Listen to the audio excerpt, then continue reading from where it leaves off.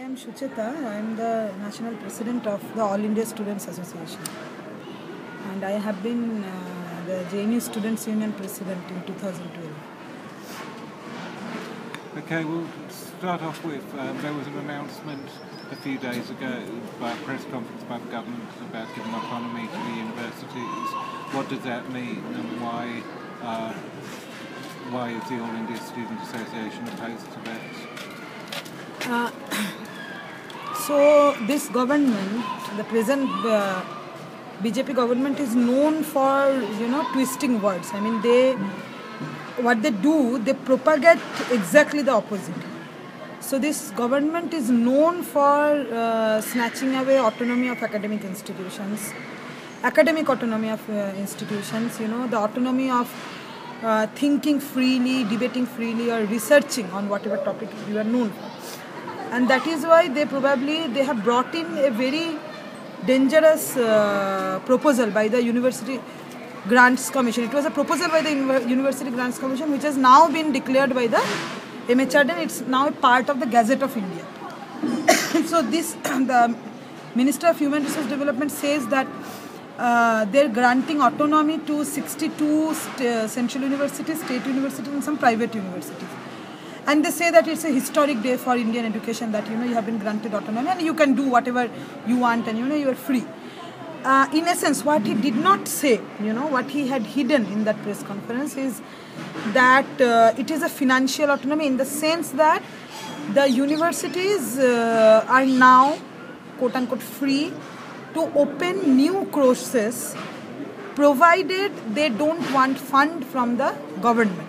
So this is the entire sta- uh, the entire statement that is written in the Gazette of India, and our MHRD had you know uh, kept silent on the later part that provided you don't want funds from the government. So essentially, what they're doing is they are asking the universities to uh, open self-financing courses that the government will no more fund education, uh, higher education, and um, these universities will open courses for which they must take uh, the necessary cost from the students themselves. Now, some of the universities which has been which have been granted autonomy, uh, the list might become uh, you know longer later on. Uh, some of the universities are the best universities in the country. So these are the best universities in the country. There is a categorization. There is a so the NAAC gives them gradation according to some criteria. That is a separate story. But uh, these universities are the best universities in the country, and in a country like India, these universities have been best because they have been public funded, and they have been able to produce, uh, you know, best research scholars.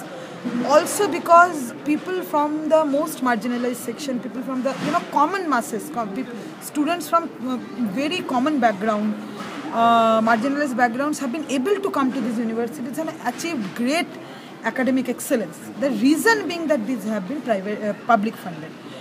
Uh, once it becomes self-financed, then it is absolutely clear that the gates of the best universities in the country are now closed for the poor. So the poor are being essentially asked not to enter uh, the best universities in the country. It's a, it's a kind of an apartheid that you cannot enter best universities in the country because you are poor, because your family cannot pay for your education. So that is it. So you know, it's it's a dangerous proposal of commercialism. And in a country like India, which uh, which has been colonized for 200 years, and you know, for 200 years, Indians have been denied uh, opportunities of uh, education, of developing, of prospering. And after independence, the promises of an independent nation was to provide uh, equal access to uh, rights such as education. And after 70 years of independence, uh, a government comes which says that poor can enter best universities in the country. So, what response is the Student Association planning to this announcement? Like, how, how are you planning to respond to it? We have already come out with a statement whereby we have called the first, we have called the bluff of the MHRD press uh, statement and we have said that it is not an autonomy, it is essentially self-financing, it is essentially privatization. And we have also said that, uh, you know, it is actually um, centralization, more and more centralization of uh, administration of the government because now as the UGC is being done away with, the UGC, the University Grants Commission is being done away with. The vice chancellors are appointed by the MHRD. So now it is directly under the MHRD. And we know that this fascist regime has been appointing vice chancellors according to their own political choice. So whoever is a politically loyal to the uh, to the government with its package of you know political ideas, which includes saffronization, which includes communalization, and a very regressive idea of India, very regressive idea of history. So those vice chancellors have now given have been given free hand. So the the fact that you know they're they're free to open courses, whatever courses in self-financing. So firstly, they will take money from the students and they will also open regressive courses, anti-science, anti-knowledge uh, courses. That is the first thing. The second thing is that what is happening in the country right now is also kind of inspiring because after four years of this regime, uh, and throughout these four years, there has been a very uh, strong resistance uh, from different sections of the uh, society, especially the students. Right now, we are seeing that students are there on the streets, they are opposing this regime.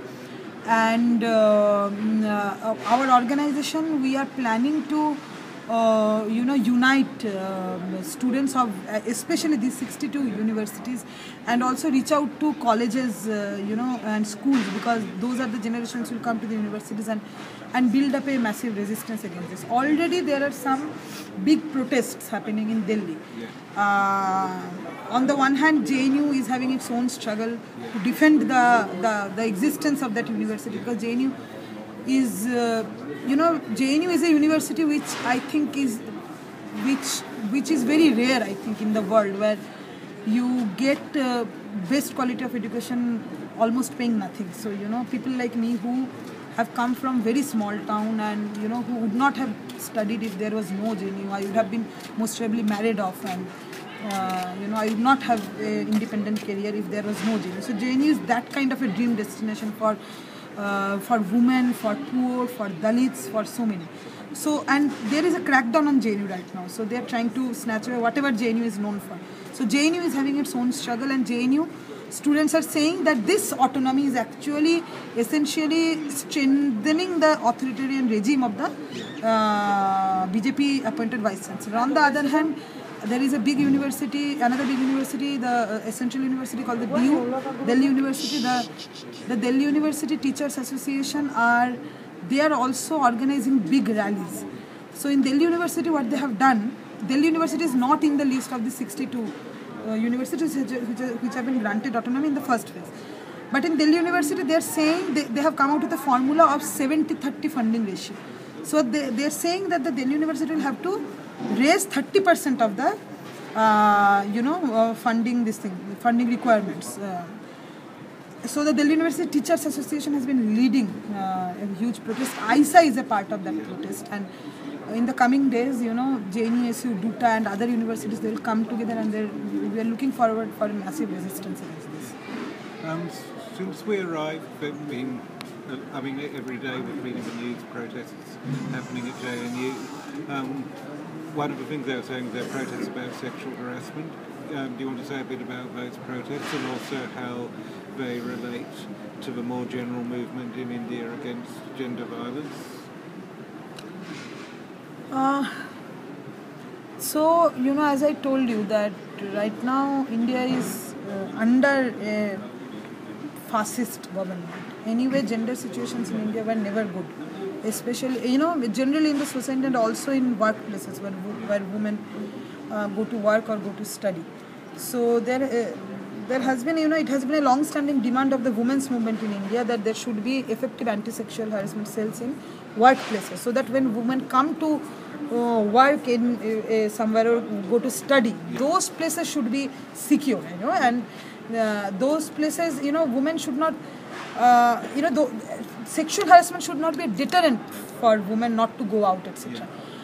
But what has happened uh, after, you know, uh, uh, in India under Modi is uh, this government has, they have given a very popular slogan which is Beti Bachao, Beti Padhao.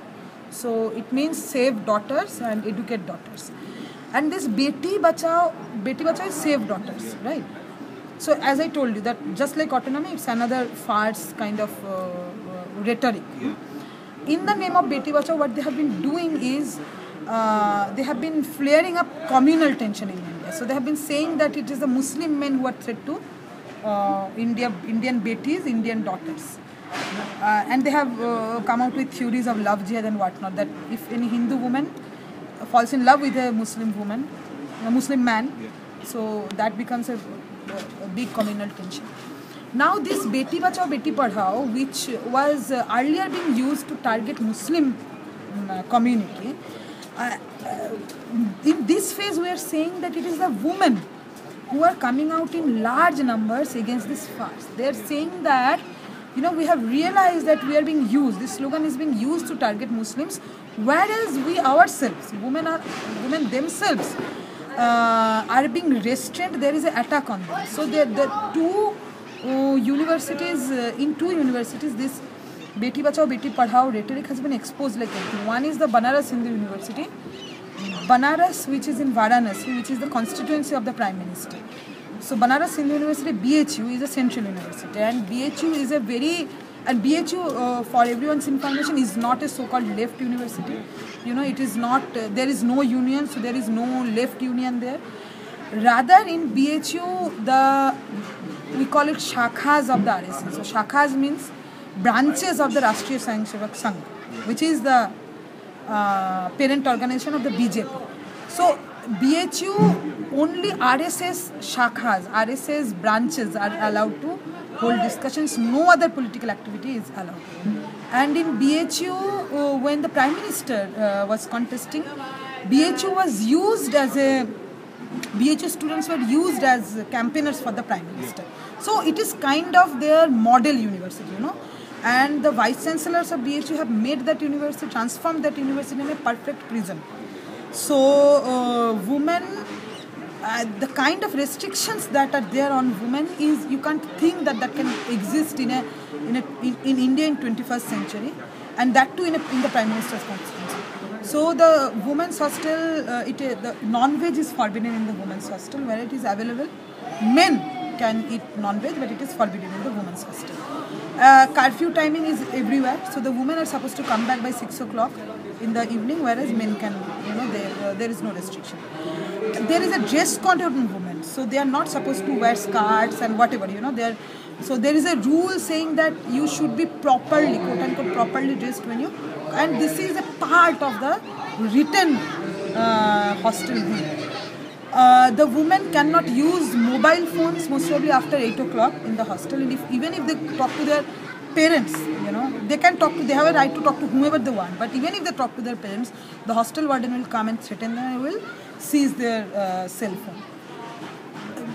The women students are made to uh, sign an affidavit saying that uh, you know so a woman student who has cleared the entrance exam who has got enough marks to get through uh, one of the BH is a very good university academically so a central university that woman student is asked to sign an affidavit that I will not take part in any protest action and it is only for the women students. So, you know, uh, getting through an entrance exam is not enough. They'll have to sign this slavery bond. So, all these rules are there. Now, what happened in BHU? Uh, one of the women was molested at 6 o'clock while Musolish was coming back to her hostel. And she went to the proctor board, com- you know, she wanted to file a complaint that uh, this has happened and you please in. And the university administration, the proctor board and the hostel warden told her that uh, it is your fault, you were out at 6 o'clock and it is your fault. And that kind of broke uh, every patience for the woman and they went out uh, to the streets and they, they, they dared every administrative action.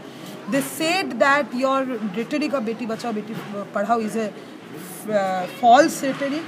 Here uh, it, it is a survival question for us. It is you know how can we be educated if it is a survival question for us? So bhu women uh, from the prime minister's own constitution they have exposed it. In jnu jnu there has been a legacy of progressive student movement. There has been an institution called the gender sensitization committee against sexual harassment. So this gender sensitization committee against sexual harassment has been an autonomous institution And uh, in JNU, we believe, you know, the student movement had ensured that gender equality uh, is more established than any other part of India. So there is no hostel restriction, there is no dress code, there is, you know, there is no restriction on women. Yeah. Now this vice chancellor, the RSS appointed vice chancellor, has dismantled this GSCASH and they have formed an ICC in place of that. And this I, in this ICC, the representatives, those who will inquire, ICC is an internal complaints committee. So those who are a part of the ICC are nominated by the vice chancellor. They are not elected. So they are men. They, they are representatives of the vice chancellor. So it reinforces the hierarchy that already exists. Now, if a woman student wants to complain against, so for example, anyone higher up, you know, anyone who is close to the vice chancellor, anyone who is a teacher, what is the guarantee that the woman student will get justice because her career will be destroyed?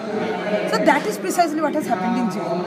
And there is this teacher Atul Johri who is been a right hand man of the vice chancellor and uh, nine women students have filed a FIR against Atul Johri and it is now I think almost what more than obviously more than a week the police hasn't taken any action. He was arrested only for 45 minutes. He was arrested he was granted bail within 45 minutes. There has been no action from the university administration. This man goes to the laboratory. He, he's a science teacher. He's a life science teacher. This man goes to the laboratories and think about those nine women who have filed complaint. They are, they are, they are being forced to quit their study. So this is what the uh, BJP government is doing to the women, to the so-called daughters of India. And there is a big women's movement uh, coming out of these universities saying that you know we have a right to study and your uh, just because you want to shield your man that cannot snatch away. So they're demanding reinstatement of GSCASH, an autonomous anti-sexual harassment body. They're demanding punishment of this man. I think that's enough. Anything else you want to add? Aha, in the sense that the, the you know this go- what is happening in India right now is this this government is uh, there is a massive attack on the idea of university. The fact that for the progress of any nation, especially a nation like India, especially a country like India, you need good quality public funded institutions which will which will which will liberate you from your social deprivation you know your social backwardness and everything. That will expose you to new knowledge and that will that, that will give you social mobility and that will liberate your world this government is against the idea of any kind of university so there has been a massive attack on um, universities eh, on jnu on hcu on the kind of student movement that we have. So the, the student movements of JNU, HC and different other parts, they have been not only talking about their own rights, their own rights of a affordable education, but they have also been talking about uh, movements, people's movement in the country, movements of the working class, movements of the deprived people, movement of the minorities, of the women, of the Dalits. So now these students are being called anti-national. You know, just because they're speaking against the government, and the students are saying that we are the real patriots. We love our country. We love uh, we love the people of our country, and that is where we're defending people of our country against the government. And this government, who uh, who who have been who have been defending, who have been shielding corporate looters, you know, uh, multinational corporates, corporations, they are say, calling themselves nationalists, and the students of a nation are being called anti-national. But what is positive is that there is a very strong student movement right now in the country, and that is the ray of hope. I mean, not only students, all every other section, but yes, obviously the students are giving a parallel narrative to what is called nationalism, what is called Indian nationalism. So you're saying Indian nationalism is for Indian people. Indian nationalism is not for corporate looters. Indian nationalism doesn't mean communal division. Indian nationalism means building up an India for, uh, you know, as we have called people first patriotism. You know, it's not corporate first patriotism. It is not hatred filled patriotism where Hindus would need to hate Muslims and you know people would not identify themselves as human beings or indian citizens. They would identify themselves as according to their religion. So that is not our idea of nationalism. So that is it